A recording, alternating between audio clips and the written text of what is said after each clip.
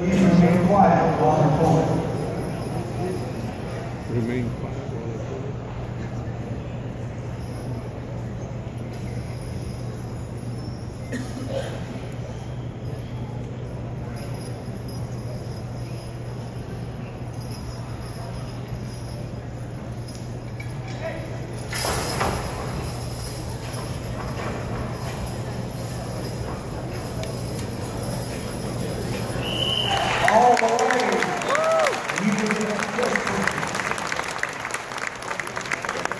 That old boy can still shove money.